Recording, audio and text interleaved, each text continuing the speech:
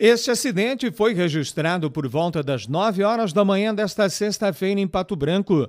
Um homem de 55 anos foi atropelado praticamente na esquina da rua Itacolomi com Tamoio, no centro de Pato Branco. O SAMU esteve no local e realizou o atendimento à vítima atropelada por um veículo Onix da Chevrolet. Ferimentos generalizados no pedestre, mas sem risco de morte. Chovia forte no momento do acidente.